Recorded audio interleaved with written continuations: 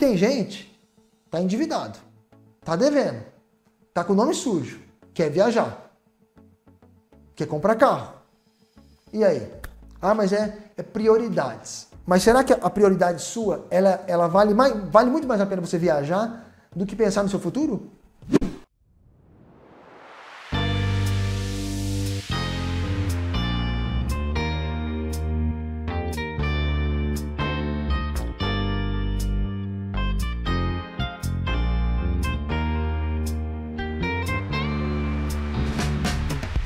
Vamos tentar resolver isso juntos?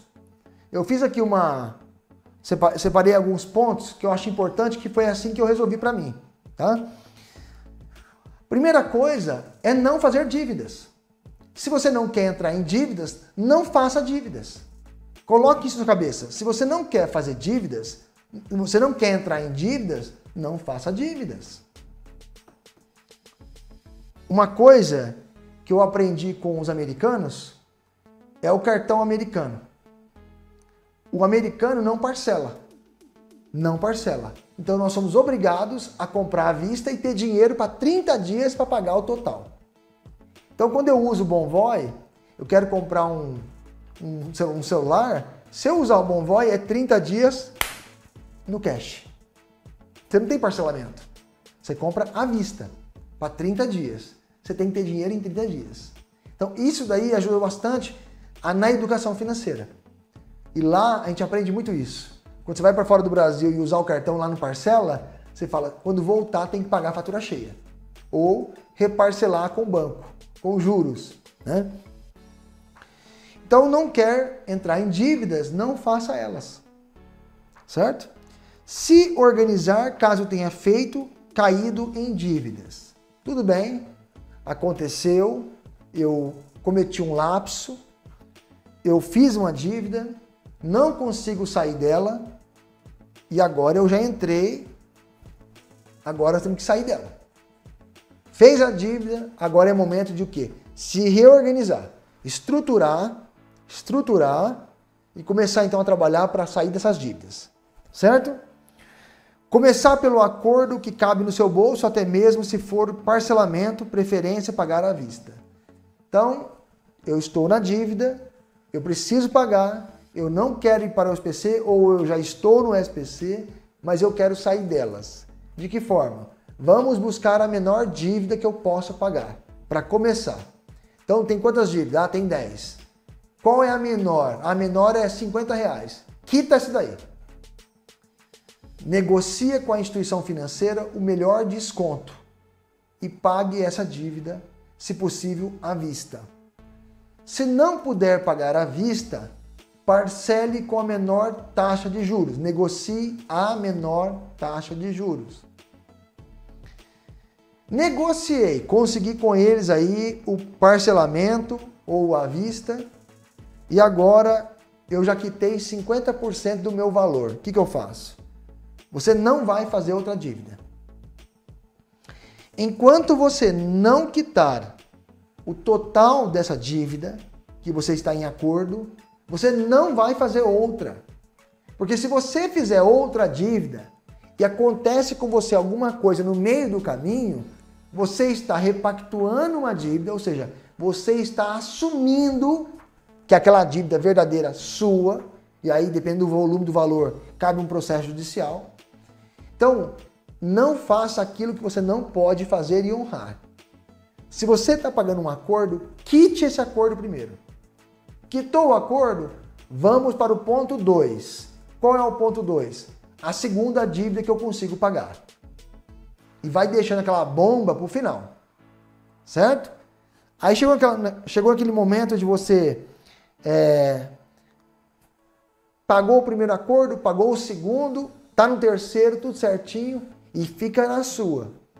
Ai meu Deus, não vejo de pagar a dívida para voltar a poder comprar de novo. Não faça isso. Não pense assim. Porque se você agir dessa forma, esperando se quitar a dívida para poder fazer de novo um crédito, para poder começar tudo de novo, você vai virar um ciclo que você não sai mais. E você sempre ficará nessa perenga aqui de ah, depender do banco para sobreviver. Certo? Só comprometer 30% do seu salário. Por quê? Os outros 70% são as coisas que você tem no dia a dia. Água, luz, telefone, internet, TV a cabo, refeição, alimentação, bebidas, né? convênio médico, plano de saúde, plano odontológico. Seu filho vai ter uma dor de dente, você vai ter que levar no dentista. Sua esposa está doente, na farmácia, né? Então, em algum momento, alguma coisa vai acontecer no meio do caminho que você não vai estar esperando. E aí? Então, não se comprometa com aquilo que você não pode pagar e honrar. 30% você tira para dívidas, 70% você tem no dia a dia. 70% você tira para investimentos, caso consiga fazer investimentos, aplicações, pagar as contas do dia a dia. Né? Então você tira dos 70 o que dá para você tirar para poder uma sobrinha, uma economia, pagar as contas e os outros 30 você assume as dívidas. Tá? E se puder pagar à vista, melhor ainda.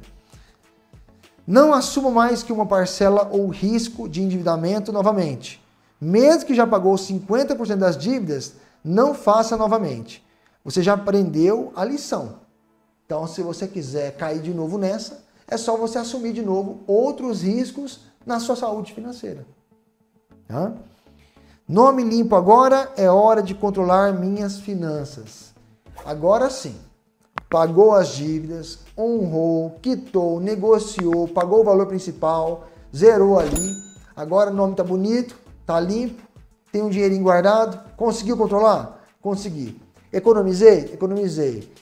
Evitou? Tem gente, tá endividado, tá devendo, tá com o nome sujo, quer viajar, quer comprar carro. E aí? Ah, mas é, é prioridades. Mas será que a prioridade sua, ela, ela vale, mais, vale muito mais a pena você viajar do que pensar no seu futuro? Eu não sei o que você quer de sua vida, porque assim, não existe, a conta não se fecha. Né?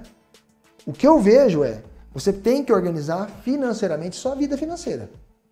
De alguma forma. Né? E, de novo, eu não estou falando para você fazer investimentos. Ah, você está. Não, eu estou falando para você educar financeiramente. Controlar as suas finanças. Controlar os seus gastos do dia a dia. Controlar seus gastos mensais. Se você tem uma TV a cabo, uma internet, água, luz, telefone, e você percebe que as despesas no final do mês não fecham, não fecham, tem coisa errada. Então, se você está lá pagando 200 reais de internet, 100 reais de TV a cabo. Você tem lá é, água, luz, telefone e refeição. Dá o total lá de 2, 3 mil reais. E você ganha 4.